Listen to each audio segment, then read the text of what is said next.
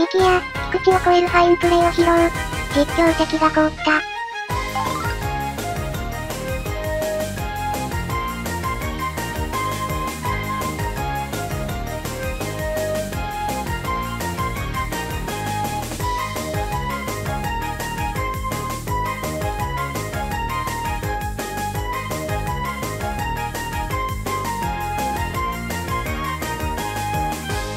巨人実況席が凍るほどの守備力だったな。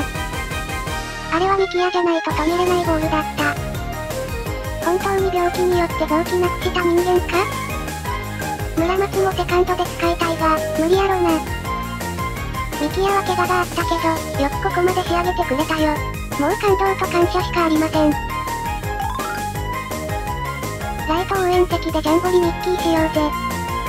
あの守備はセカンド菊池を超えたね。自己犠牲さん見ましたか？これは竜の忍者です。谷沢健一さんも大絶賛の素晴らしい守備。本当に魅力的な守備を見せてくれた。これでホーム開幕も見る価値があったよ。ありがとう。淳もあれやれんねん。記事を見て思ったことはコメント欄へ、高評価もぜひよろしくお願いします。